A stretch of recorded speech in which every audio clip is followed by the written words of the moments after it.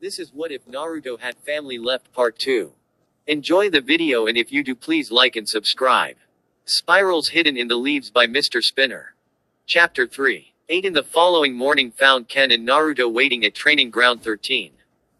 A flat plain dotted with large boulders that ranged from the size of a bench to ones that could be mistaken for small cliffs. Having arrived quite a bit early, to Naruto's chagrin, Ken was taking the time waiting for the academy instructors to examine Naruto's taijutsu skills. Little more than a year into the curriculum, the boy's skills were predictably unrefined. But that actually suited Ken's plans perfectly. It meant Naruto wasn't too set in the motions of Konoha's academy style. As the practice spar went on, he was utilizing one form of the Uzumaki style that he had learned from his grandfather. Whenever Naruto came at him, he flowed out of the way like the wind or water, occasionally striking back at Naruto's unprotected limbs or back. Stay still. Naruto shouted, his frustration making him even more sloppy. Why would I do that? Ken asked rhetorically. Your enemies definitely won't stay still and let you hit them. And so neither will I. The point of training is to get you faster, stronger, and more versatile than them so that you can hit them. If Ken were being honest, he was actually a bit impressed with Naruto's work. Granted, he had no experience with the Konoha Academy style, but Naruto seemed to be a naturally unpredictable fighter. He never pulled the same trick twice, even with the long list of tricks he'd gotten up to. Tricks like kicking sand into Ken's eyes or attacking the legs. Well then stop dodging and block something. Naruto shouted. He grinned a bit and added, Are you scared? Naruto delivered another punch, and was stopped cold. Ken's open hand had blocked his fist as if it were nothing. Maybe you're right, kiddo, Ken said with an unnerving grin. Maybe it's time I stopped dodging. Those words were all the warning Naruto had before Ken struck him with an open palmed strike in the chest. A strike that sent him skidding back a good five feet to land on his butt.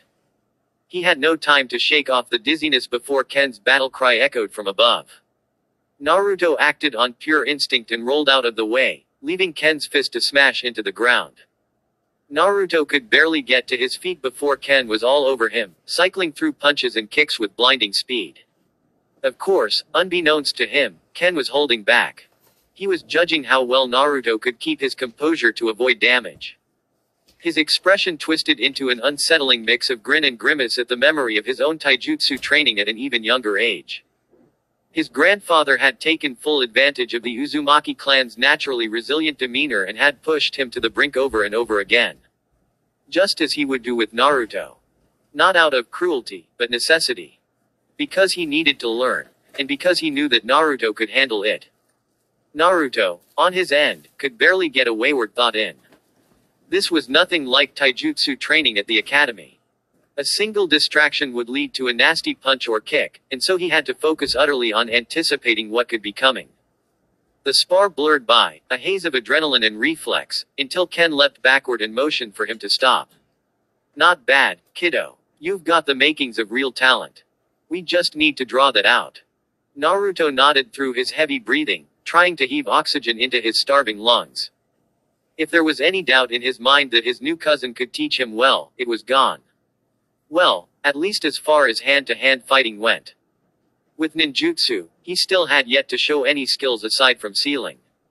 The distinct sound of clapping echoed across the field, the sound somehow, mocking. Oh yes, Sir Uzumaki, a voice familiar to Naruto called. You can run circles around a year 2 academy student, very impressive. Perhaps we should just promote him to Hokage right now, eh, Iruka? Ken turned to find an unusual group coming his way. The two men taking the lead were clearly instructors judging by their basic Chunin attire, one with shoulder-length white hair and a faint sneer. The other with a brown ponytail and a scar across the bridge of his nose. The other two had more nuanced clothing along with the markings of Jonin, or elite ninja.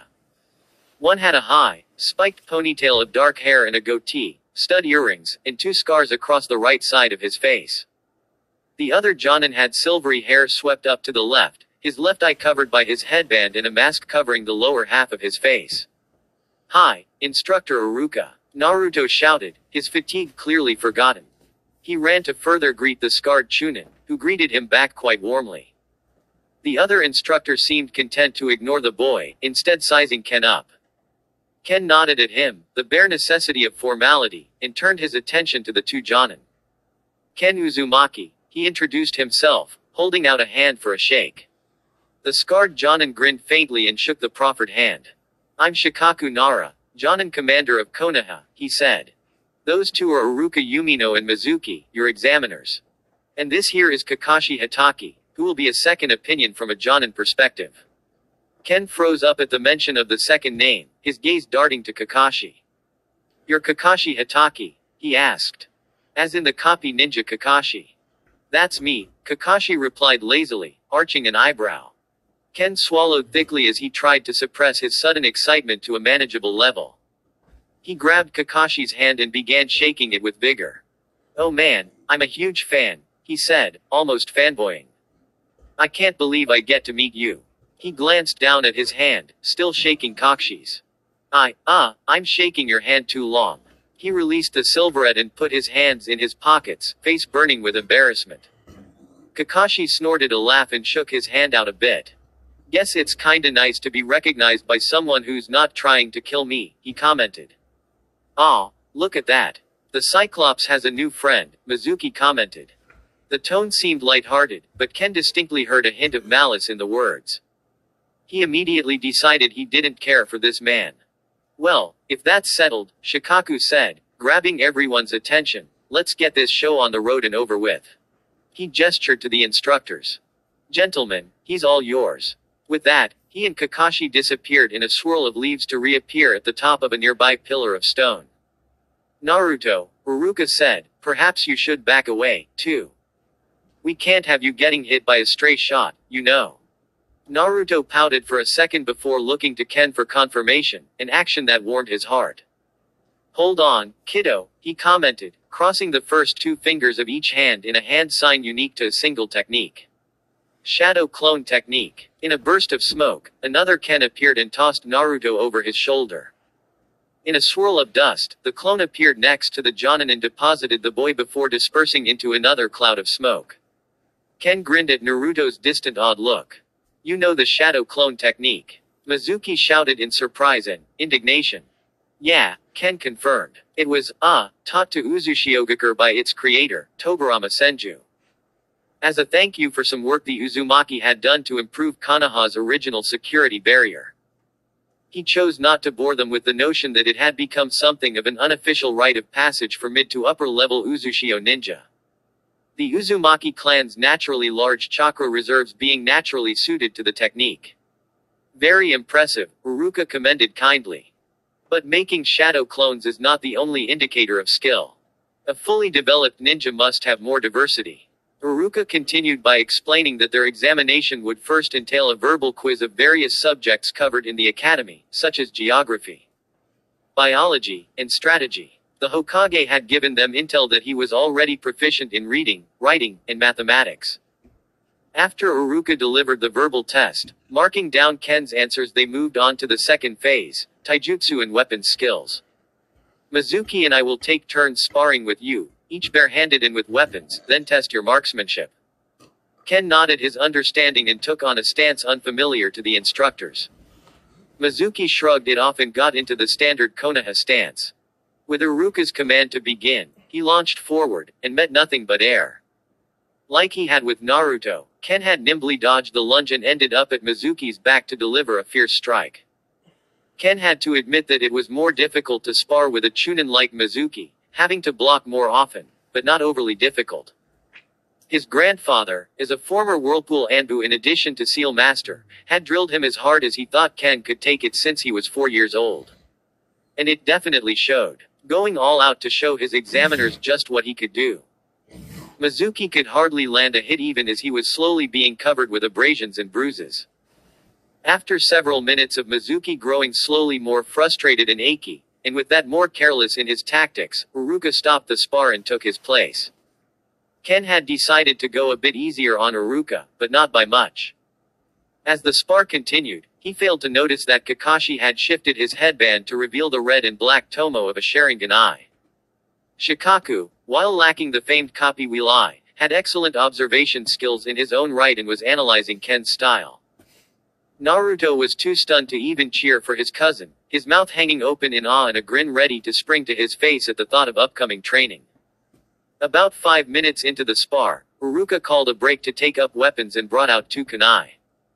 Ken replied with a wakizashi short sword, the blade black as a shadow and inscribed with sealing formulae glinting in the morning sun. After several more minutes of sparring, Iruka backed off in motion for the spar to end, casting a dirty look at Mizuki for not stopping the spar himself. Mizuki just shrugged unrepentantly. Next came the marksmanship examination, for which Iruka unfurled a long sealing scroll and revealed a series of wooden posts and straw-filled dummies. Ken placed a hand on a sealing tag at his belt to reveal a collection of kunai and shuriken. With a string of quick movements, he had flung all he needed at his given targets with a rough 9 out of 10 kill shot. More than acceptable accuracy. Well done indeed, Uzumaki, Iruka commended. On the inside, Iruka was even more pleased. He'd had his reservations about a complete unknown taking over Naruto's care and personal training, and he was glad to see that that latter part, at least, would be covered. Finally, he continued, we'd like to review your general ninjutsu. As with our academy students, we'd like to start with three standard E rank techniques. The transformation, substitution, and clone techniques. Taking that as his instructions, Ken formed a hand seal and was replaced in a puff of smoke by a near perfect copy of Iruka, followed by a copy of Mizuki, Shikaku, Kakashi, and Naruto. With a quick combination of seals, he disappeared to be replaced by a number of rocks, reappearing behind the instructors. And finally, with a hand seal, he repeated the shadow clone technique. Will that suffice for the clone technique? he asked. Iruka chuckled while Mizuki rolled his eyes. I suppose so. Now we move on to something less traditional. What other ninjutsu are you familiar with besides the body flicker? Ken took a moment to consider his answer. I am very well versed in the sealing arts, it's a clan thing. I'll admit I'm no ninjutsu specialist, but I know more than a few. Mostly clan techniques, really, which I mastered yin release in order to use. I have an affinity for earth chakra and have mastered a few of those, and I've begun work on lightning release, but have yet to learn any techniques for it. You're already working on your third element. Mizuki asked. Yeah, sure. Talk is cheap. Let's see a demonstration. Mizuki. Iruka scolded, but was stopped by an acquiescing open palm from Ken. That's fair. And I guess the appearance of the techniques will get out eventually. He glanced up at Naruto and the Jonin. But first, he conjured a shadow clone, which then flickered up to the observers and spoke with Naruto. The boy stomped his foot and cried out something illegible, but eventually covered his eyes with a huff. After the clone had dispersed, Ken nodded with a grin. He didn't particularly want to hide his ninjutsu prowess from his little cousin, but he had a feeling that the kid would badger him incessantly if he caught a taste of what Ken could teach him. Besides, he wanted the debut of their secret clan techniques to be a more private matter. Okay, gentlemen, Ken said, hopping backward to get some distance, send a ninjutsu at me. Iruka hesitated, but Mizuki took his chance for payback. With a string of hand seals and the thought, earth release. Boulder shrapnel, Mizuki struck the ground to bounce up a large rock that he kicked and shattered into sharp smaller pieces that flew at Ken. But long before they could make their mark, a massive wall of earth sculpted to look like a brick wall and carved with the Uzumaki swirl rose up to intercept them. The earth release, earth-style wall, Iruka commented, going through his own hand seals. Fire release, dragon fire technique, Iruka thought, spewing a stream of flames that dispersed against the barrier with barely a singe. A faint rumble in the ground heralded Ken bursting from below them and dragging Mizuki into the ground up to his neck before rising up with a faint grin. I know a few other earth release techniques, but not anything too flashy. He held up his hand and took on a look of concentration. His hand began to spark with electricity, visible currents flickering between his fingertips and along his fingers and palm. And that's all I've got for lightning release, so far. Iruka barked a laugh. Well done, Mr. Ken. There's no need to demonstrate yin release, this is enough for the exam's purposes. I must say I am impressed. But, it's not just up to us. He waved at the observing Jonin, who appeared in another swirl of leaves with Naruto under Shikaku's arm. The boy crossing his arms in a huff at missing his cousin's ninjutsu. Shikaku pointedly placed Naruto on the ground before addressing Ken. Or he would have, if Naruto hadn't beaten him to the punch. That was awesome. The boy cried at the top of his lungs. Calm down, Naruto, Ken and Iruka scolded in perfect sync. They glanced at each other in surprise and shared a chuckle at the boy's pout. I am rather impressed, myself, Shikaku noted. He kept it to himself that this boy of no more than his mid-twenties could probably give a Tokubetsu Jonin a run for their money, at least as far as raw power went. I'll be making my report to Lord Hokage, of course. But he gave me the authority to name you a genin. In spite of himself, Ken winced at the junior ninja title. His grandfather had, of course, covered standardized shinobi ranks during his education. The junior genin stood at the bottom of the totem pole, beneath the chunin, journeyman, and junin, elite, with the tokubetsu or specialized jonin between the latter two. Shikaku chuckled humorlessly at Ken's expression. Sorry, kid. Frankly, if it were possible, I'd seriously consider promoting you straight to Chunin. But village politics are village politics, and Lord Hokage can't be seen favoring a certain clan. Especially a newly re-established one that holds the Nine Tails Jinchuriki, he mentally added. He did not envy this kid the flack he'd get at the exams. Jen and his age were often marked out as weaklings. But you're not held back at all from the Chunin exams, he added. When will I be permitted to take the exams? Ken asked hesitantly. He hoped they weren't too close within the six month scheduling. He'd like to get a few months of training and missions to polish his fieldwork. But more than that, he really wanted time to begin Naruto's training in Uzumaki clan arts. The next set of exams are in four months, Shikaku promised, and you have until a week before they begin, the day you'll be leaving, to turn in your registration forms. Until then, you'll be assigned to fill out a different team who've lost a member to injury. They'll meet you here. Ken swallowed and thought over the implications of that. He was invading a previous team. He was happy that whoever had left the team wasn't dead, but he was somewhat aware that teams like this tended to be made up of bonds forged over time. Did he really think he could take the former member's place? Well, he wasn't really being asked to, just to fill in, to recomplete the team. And besides, these were his orders.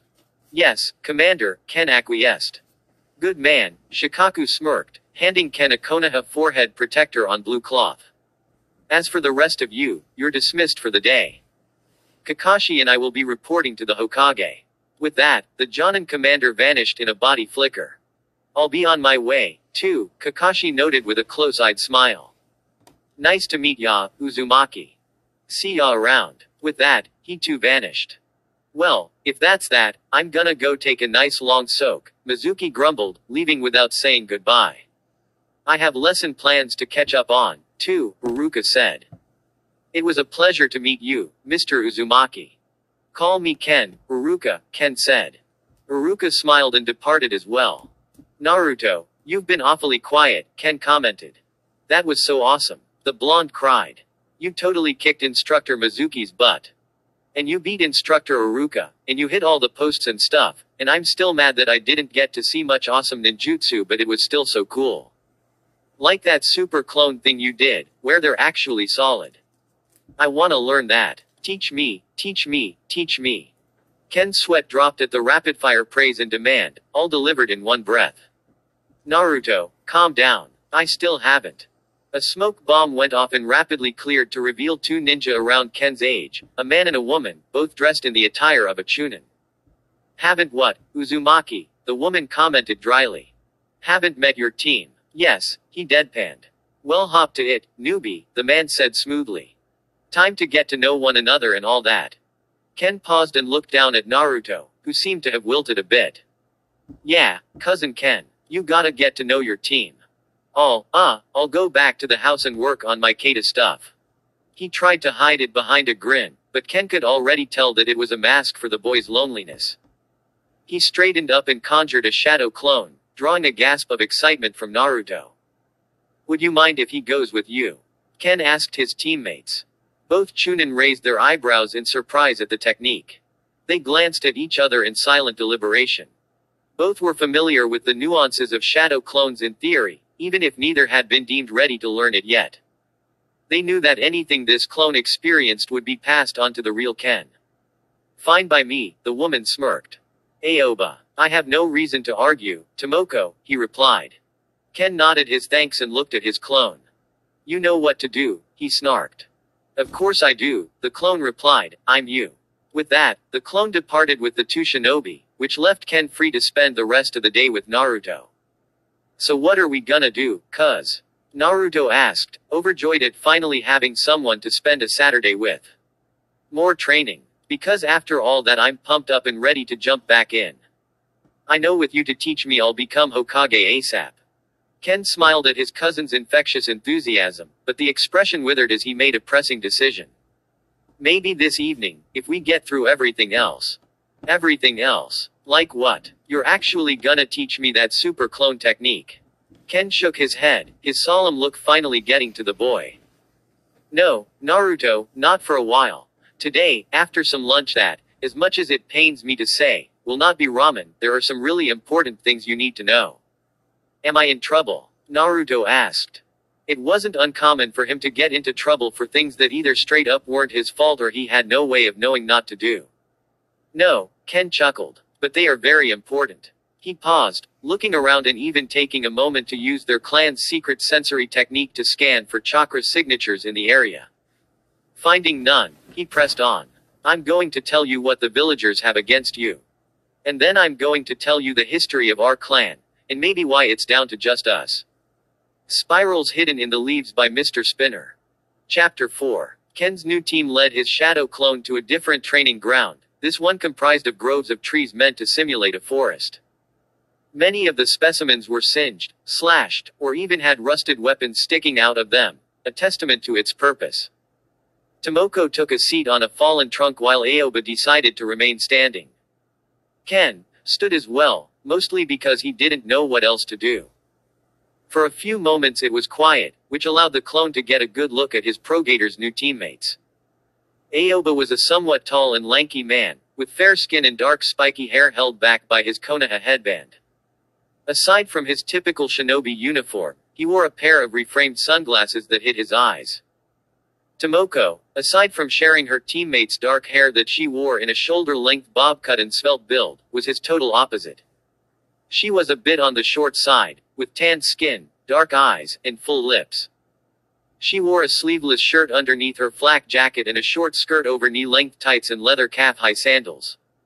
Her headband hanging around her neck and an armband with the Sarutobi crest around her left upper arm.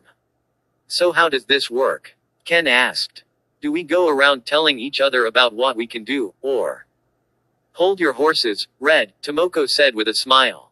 We'll save the tactical junk for later.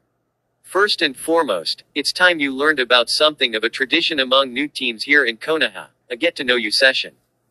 A what? Ken asked, honestly stunned.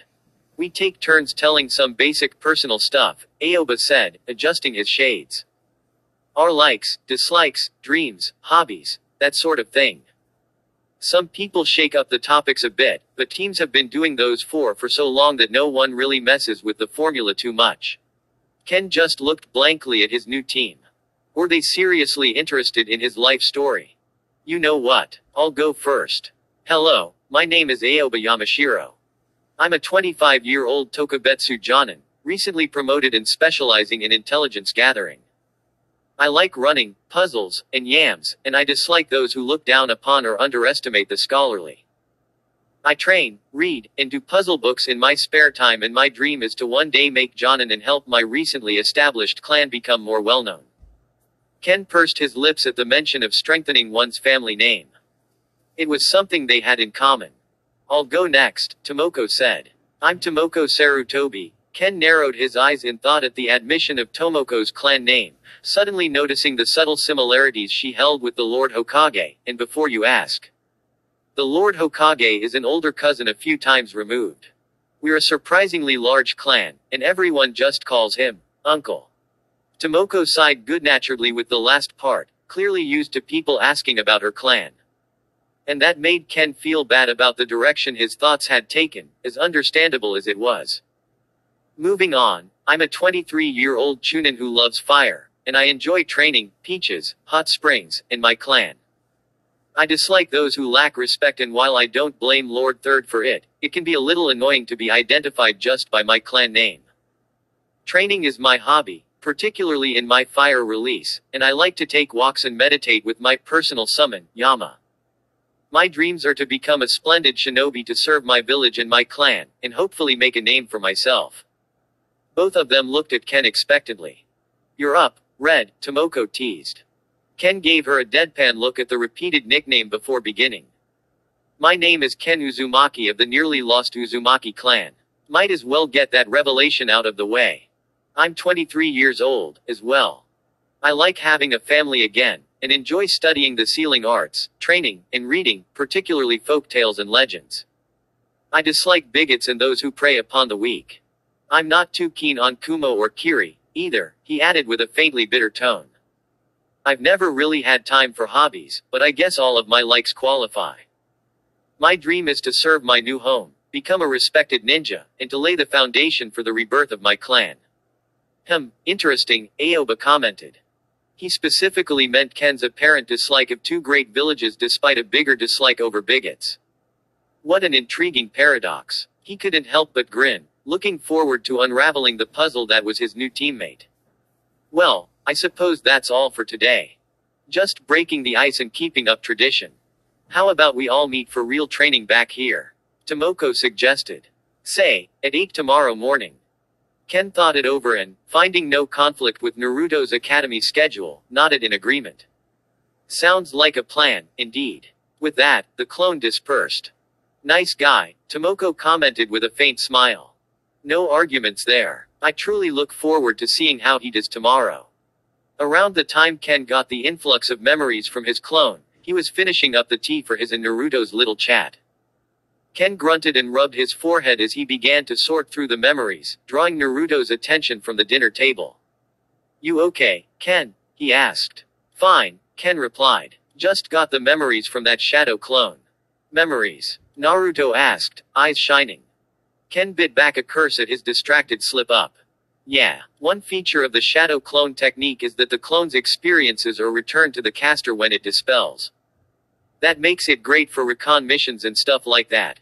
Naruto opened his mouth to ask more questions, but Ken held up a hand to stall them. That's not what we should be talking about.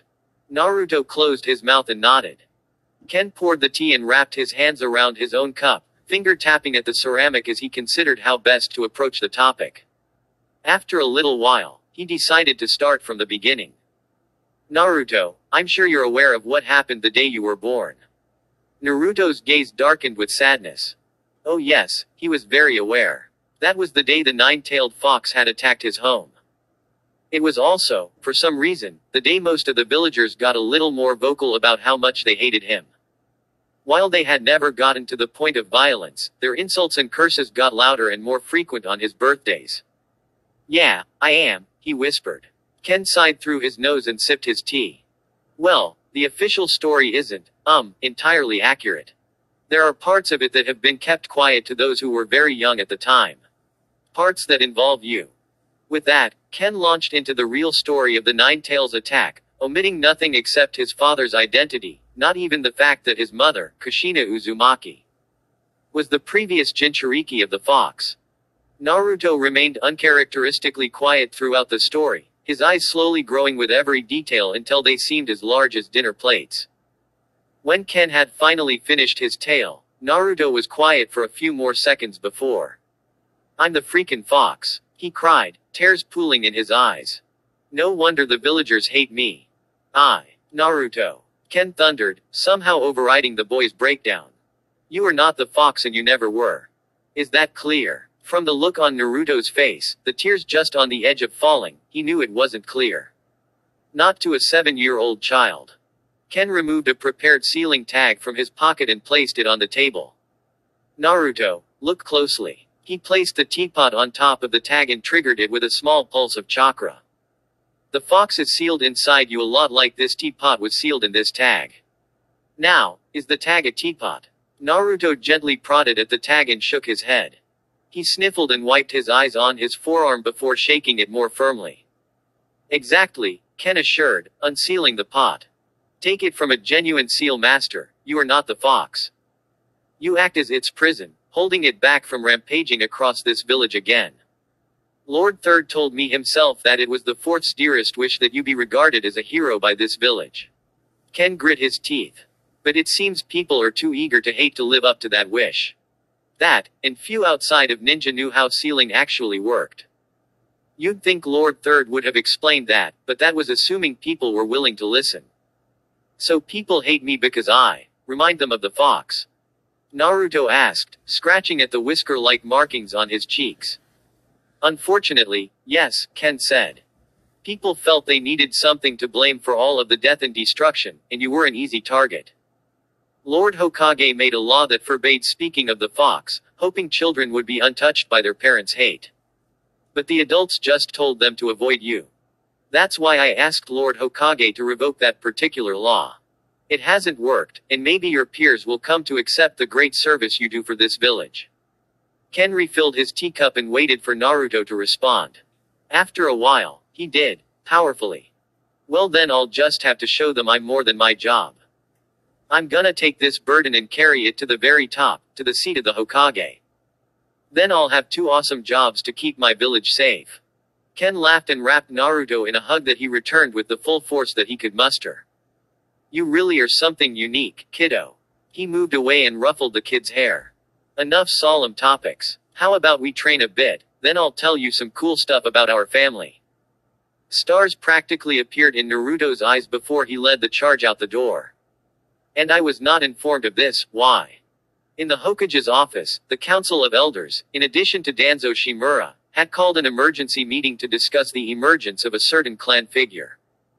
Homura and Koharu stood before the Hokage, while Danzo decided to stay to the side, as per his habit. You were not informed, Danzo, Hiruzen explained, because you are no longer a member of the council. And as for the rest of you, he glared at his two remaining advisors, it is my duty to oversee our forces. I need not report every little appointment to you. Be that as it may, Hiruzen, Koharu said, the return of one of the most feared clans in recent history is definitely something you should have at least mentioned. If we are certain that he is who he says he is, the boy had the vibrance of the Uzumaki and knowledge that could only have come from the source, Hiruzen argued. A bit insulted that his own advisors would so easily disregard his judgment and legendary intuition. Information can be taken, Danzo rebutted. Who is to say that an enemy spy did not locate a survivor of Uzushiogakure, use genjutsu to learn what he could? And then dye his hair and come to us as a ploy to learn our secrets or even attack us outright. Not to mention you have handed the nine tails over to him. Very well, Hiruzen said, even his patience wearing thin. I will have blood and chakra tests done to ensure his identity if it will ease your minds. The Uzumaki have quite the unique chakra signature, such a test will prove once and for all his identity. He is still a foreigner, untrustworthy. That is not for you to decide. Hiruzen finally snapped. And let me make myself clear, None of you will try to goad him like you did the Uchiha. It is our duty to house the remnants of a historical ally of the Leaf, and he has been accepted as a shinobi into our ranks. Hiruzen took a long drag from his pipe, blowing out the smoke before continuing. And if it would ease your concerns further, I have placed him on a team not only with Aoba Yamashiro, whose intuition is quite sharp, but also with one of my own. Koharu and Homura glanced at each other before looking back at their leader. A Sarutobi? Homura asked, to which Hiruzen nodded. Hm, very well. I am satisfied for now. Ah, how fortunate, Hiruzen deadpanned. He glanced at Danzo. And you, old friend. Danzo was silent for a few moments before answering. As you command, Lord Hokage, he finally replied. Hiruzen carefully kept his visage neutral, realizing full well that Danzo's reply was distant even for him, and not a technical agreement. He would have to be wary of Danzo for a while in regards to the Uzumaki clan. Now that that is settled, I have paperwork to resume. You are free to stay if you would be kind enough to help. Those words were like war dogs, and the council dispersed in record time. Just as they always did when he suggested they do so. He laughed humorlessly. Those three were all about voicing their opinions for the village, but when it came to the boring parts of the job they were nowhere to be found. Well, at least he knew a good way to get them out of what remained of his hair. Ken watched with a critical eye as Naruto practiced with him the katas of the Uzumaki traditional style of combat. Unlike most traditional styles, the Uzumaki style put less of an emphasis on a structured approach to learning.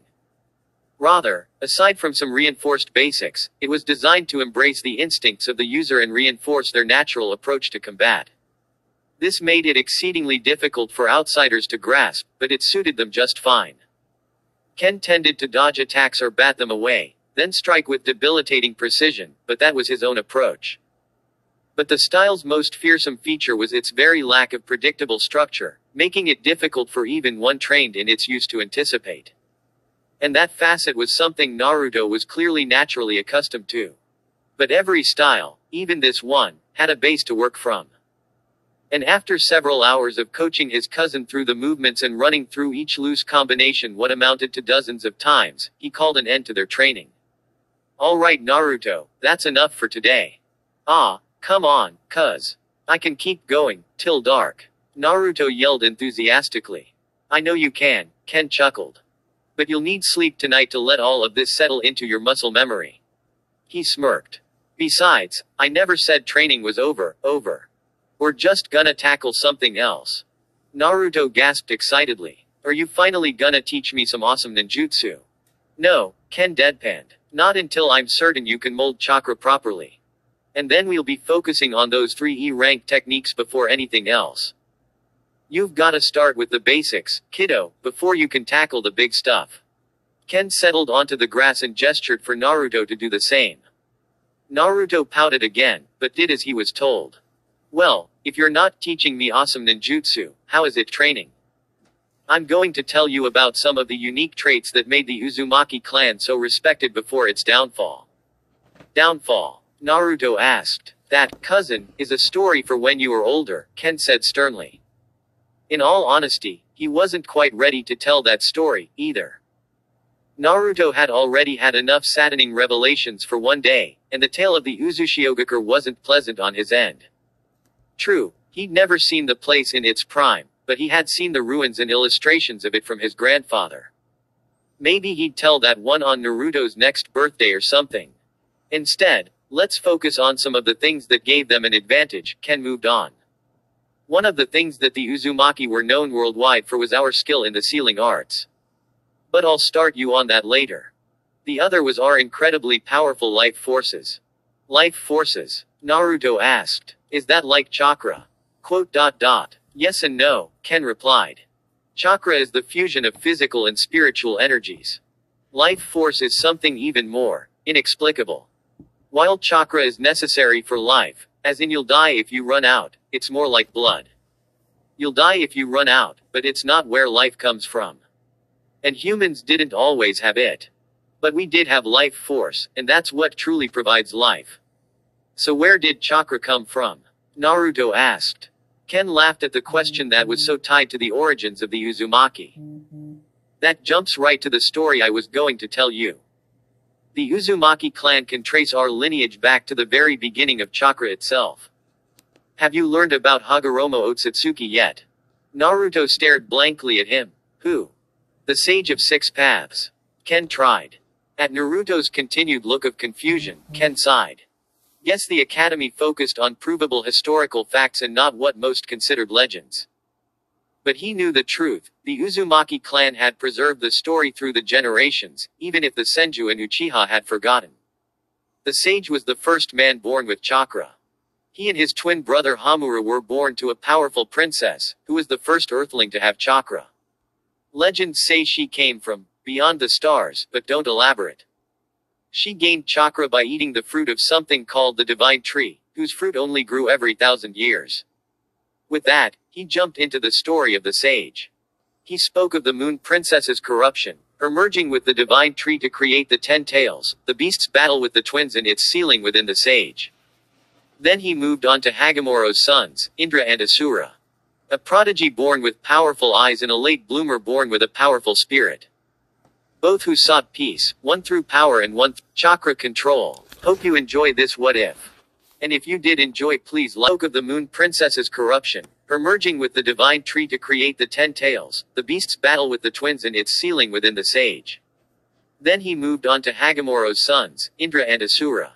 A prodigy born with powerful eyes and a late bloomer born with a powerful spirit. Both who sought peace, one through power and one through love. And the feud that had been passed down through the generations. That story keeps going and leads to the founding of Konoha, but you'll learn about that in the academy, Ken wound down. But it's Asura I want you to focus on right now. Can you remember what made him different? Yeah, he never gave up. Like me. Naruto replied fiercely. True, that was a large part of it. But I meant the other thing, the thing he got from his father. Naruto thought back and tried to remember. He had a strong body. Naruto tried. Yes, but that's just an expression. Asura inherited his powerful life force and physical energy from the sage. That was passed on to his descendants, the Senju clan. Senju. Now that name rang a bell. Senju like the first and second Hokage? Naruto asked. The very same, Ken confirmed. Our clan, the Uzumaki clan, were like a cousin clan to the Senju. We can trace our lineage to Asura, too. And through him, the sage. And we, too, inherited Asura's powerful life energy. And that very fact gave us an edge against other ninja clans and villages. Whoa. Naruto gasped. Like what? The Uzumaki's life force grants us incredible vitality, which in turn manifests in insane stamina, healing abilities, and recuperation. Which means we can keep up action for way longer, we bounce back faster, and we heal up quicker. We also get extra longevity, which means we live longer and age slower. If an Uzumaki survived to retirement, it wasn't uncommon for them to hit the 100 year mark. Ken sighed and continued. It also manifests in huge reserves of extra potent chakra. We tend to have about four times the average chakra supply. Most of this flew over Naruto's head. He was, after all, barely closing in on 8 years old. But he got the gist of it. Awesome stamina and healing, with a huge chakra pool. So this means I'm gonna be an awesome ninja. Naruto cheered. Man, this kid has a one-track mind, Ken snarked silently. No, it means you have the potential to be an awesome ninja. You'll have to work hard to tap into that. You got it, cousin Ken. I'm gonna train harder than anyone ever, and I'll be an awesome ninja and a shoe-in for Hokage. Not for the first time, Ken laughed at his cousin's enthusiasm. Well, Mr. Future Hokage, I think it's time to turn in for the night. After all, I gotta train with my team, and I'm sure you want a head start on the training, too. As he got up, a thought crossed his mind. Wait, just one last thing. Ken knelt before Naruto and formed a hand seal to help focus his chakra, preparing an Uzumaki secret technique. All Uzumaki had different strengths in regards to their clan techniques, and Ken was no exception. He was excellent at one in particular, practically a prodigy, but he still had limited aptitude with this one even after years of training. But he needed to know something, and this was the fastest way to figure it out. Mind's eye of the Kagura, he thought, his physical eyes closed to better focus on his metaphysical one. With a sensation like a mental stretch, he felt his mind's eye open, allowing him to perceive chakra around him. He could see his own familiar signature in the silhouette of his arms, but focused instead on Naruto's. And what he found stunned him enough to almost lose the technique. Holy Father of Asura, he thought.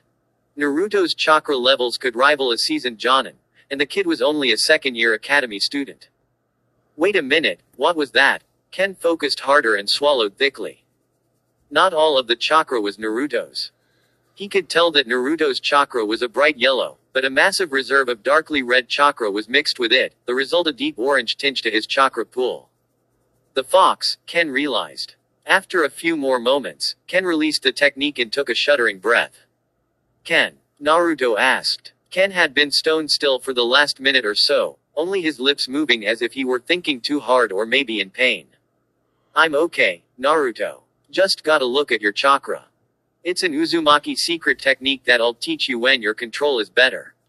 He grinned and stood up. But it seems that having that fox inside you isn't all bad. I'll have to examine your seal tomorrow to be sure, but I think it's designed to let the fox's chakra leak out and mix with yours. Which multiplies your reserves even more. Naruto's mouth dropped and he jumped in excitement before running inside, barely pausing to take off his shoes. Ken smiled and followed, his mind working double time. He would have to examine the seal, and he'd have to contact Lord Third and see if there were any other side effects of Naruto's condition. As he prepared himself and the kid for bed, his thoughts turned to Naruto's training. He couldn't just focus on taijutsu, he'd have to broach the topic of ninjutsu sooner or later. And with Naruto's truly monstrous chakra pool, he was a natural born ninjutsu specialist.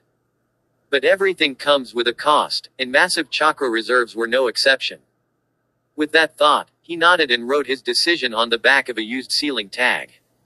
Chakra control. Hope you enjoy this what if. And if you did